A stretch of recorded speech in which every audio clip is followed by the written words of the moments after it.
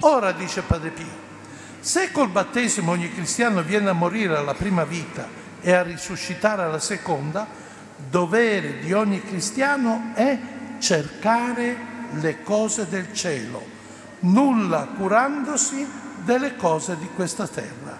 Come ci dice San Paolo, siete risuscitati con Cristo, cercate le cose di lassù dove Cristo è seduto alla destra di Dio. Ecco, i segni straordinari che possono caratterizzare la vita di San Giuseppe da Copertino, di Padre Pio, sono segni che veramente ci pongono in questa dimensione. Sono segni che ci aiutano a capire questa nuova vita nella quale il Signore ci ha collocato.